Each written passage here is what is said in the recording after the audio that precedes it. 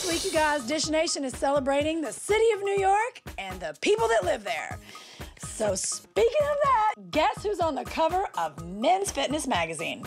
Derek Jeter, maybe? No, no, Marc Anthony. Yes, Like J Lo's ex, Marc Anthony? Boom. You gotta weigh more than 110 pounds to get on the cover of Men's Yeah. Fitness. It's the first magazine cover I've ever seen where they've actually photoshopped weight onto somebody. Oh, Not only are we the only ones that think it's a little mm-hmm. weird, J Lo reportedly said that she thinks he is just a wannabe musclehead. Basically, it's a New Yorker from the Bronx throwing shade on a New Yorker from the city.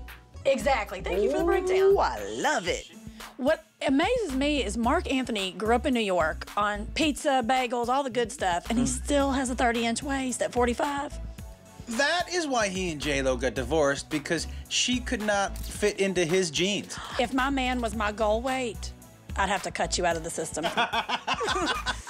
But here's the thing. I feel sorry for him. Why? Well, because he was saying, didn't we hear something about his dad said he was ugly?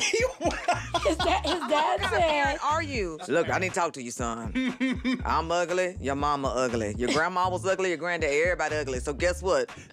You ugly. Like so he said, the- get a personality, was what his daddy said. His dad said, work on your personality. I think it's safe to say he's not an attractive man. Mm-hmm. So when that is the picture, like where you're like, this is the best I'm ever gonna look. And if he can, he's fully clothed. If he can be on the cover, fully clothed, I can be too. Are you gonna pose? Wait a minute. Where are you going? He pulled. Wait a minute. Oh, wait. Oh, Oh, that's That's good. happening. That's good.